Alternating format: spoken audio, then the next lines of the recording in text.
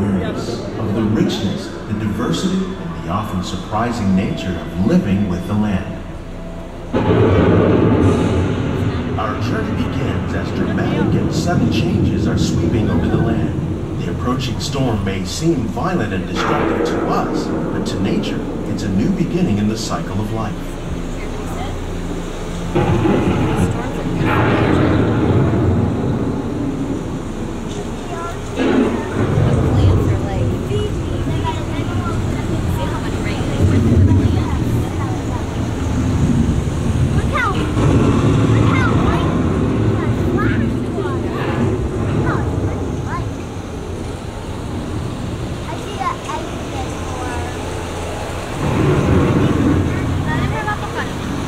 The surface of the land, roots trap water from the flowing mud, extracting precious nutrients and minerals.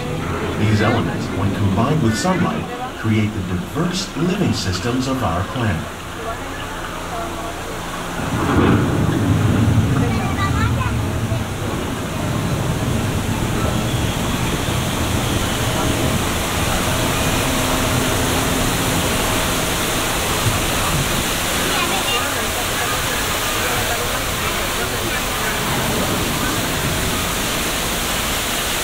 One of those living systems is the rainforest, home to the most amazing concentration of life on our planet.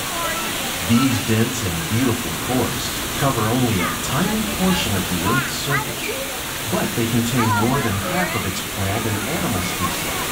Rainforests are also extremely rich and productive living systems, providing us with oxygen, food, medicines, and other elements essential to our lives. Look at that spider! Ya no me gusta por la cucaracha.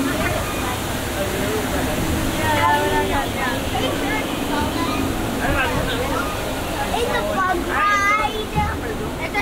I would be In the desert, nature has created a very different, but no less beautiful living system.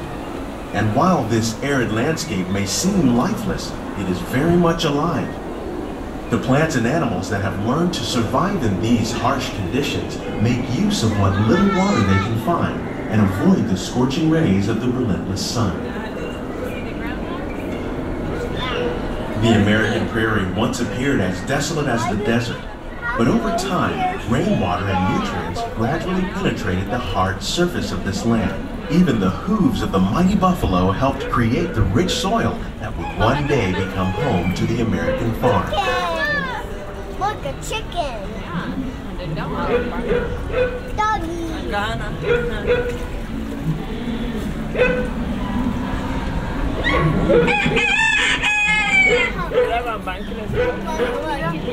I didn't know the restaurant overlooked this.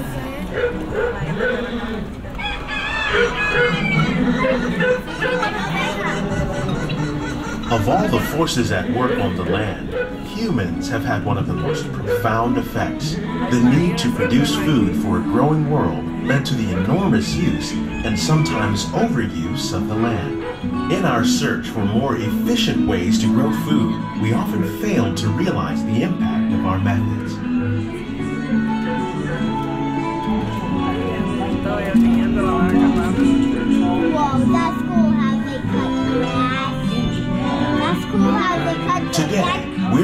To live with the land, discovering better ways to grow food that will assure both human and environmental well-being. farmlands across America, we're learning that by plowing vegetation containing natural fertilizers, we can enrich the soil without the use of chemicals.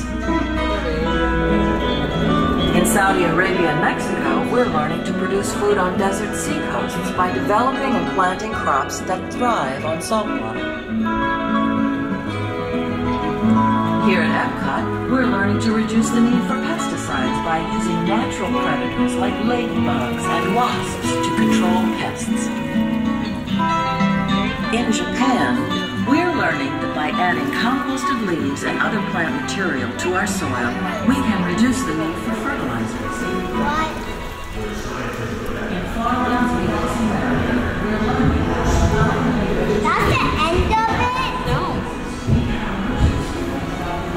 How will we meet tomorrow's growing needs for food production, yet still respect the needs of the land? Some of the answers are being discovered just ahead. To help us maintain these carefully controlled ecosystems and for your safety, please remain seated in your boat at all times. Okay, so these are all real plants that they're growing here at Epcot. Inside? Still inside the inside the golf ball. It says a golf ball right there. No, was it like Welcome to our living laboratories, where scientists from Epcot and the U.S. Department of Agriculture are exploring innovative ways to produce bountiful harvests now and into the future. Those are kind of pumpkins. The tropics are home to the greatest diversity of plants on the planet. Many of these, like papaya, bananas, cacao, coffee, and rice, are well known around the world.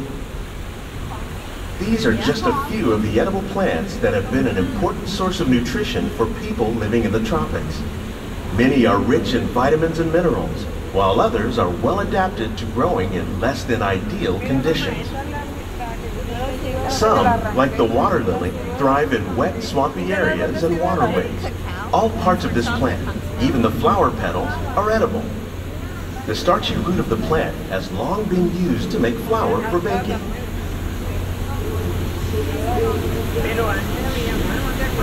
One day, many of these lesser-known tropical plants may be as important as the bananas growing on both sides of the boat. More than 28 million tons of bananas are eaten.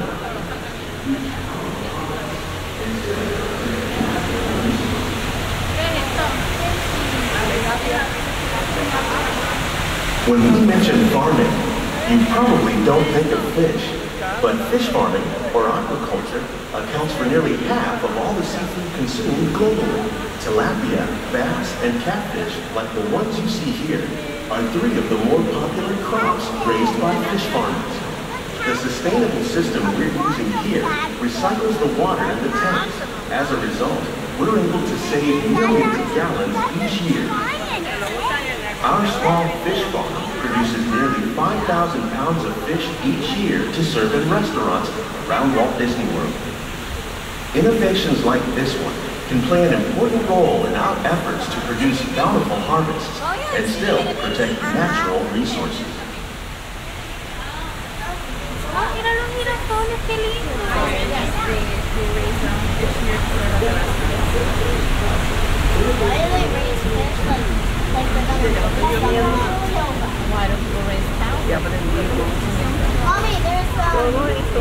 While there are more than 50,000 edible plant species in the world, most of us are only familiar with the handful that make up our everyday diet.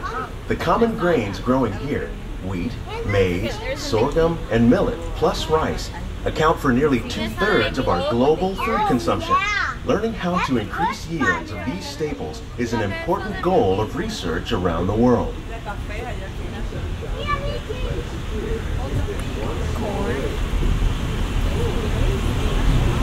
Look at them. Tomatoes. These plants are definitely on their way up. Innovative growing techniques like these increase yields while more efficiently using resources like water, fertilizer, and pesticides. Another innovation at work here is our integrated pest management program. By populating our greenhouses with beneficial insects that prey on harmful pests, like aphids and flies, we are significantly reducing our reliance on conventional pesticides. We're growing these crops using our nutrient film system. This technique precisely controls and recycles water and nutrients. With it, we can produce over 27,000 heads of lettuce a year in this one small area.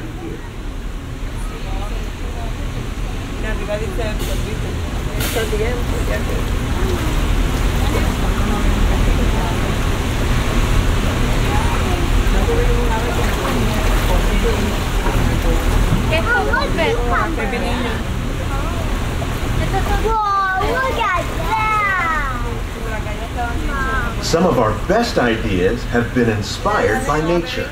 like these fruit and vegetable trees. By growing these ground plants vertically, we can increase yields and better control diseases. These crops taste as good as they look. In fact, we serve more than 15 tons of produce from our greenhouses in restaurants here at the land every year.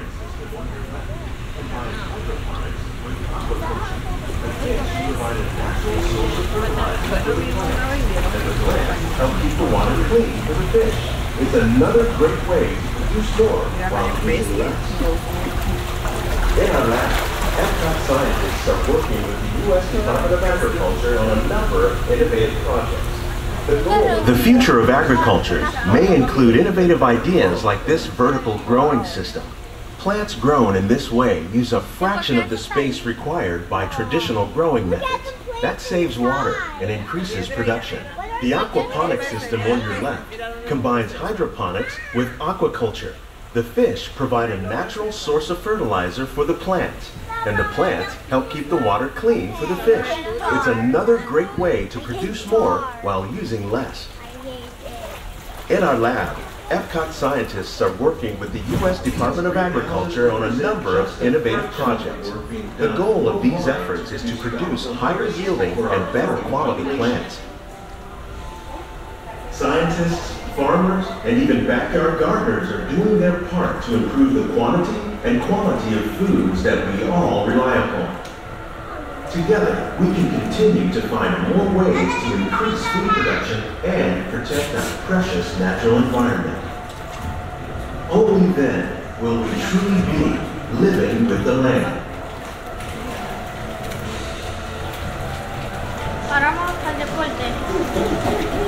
On behalf of Walt Disney World, we hope these greenhouses represent just a fraction of the work being done worldwide produce bountiful harvests for our growing population.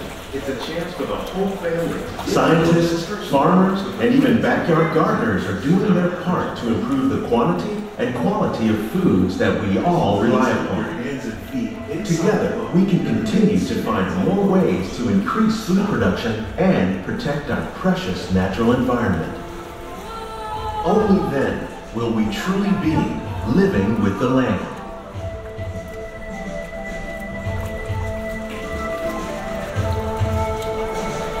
On behalf of Walt Disney World, we hope you've enjoyed this unique journey through our living laboratories.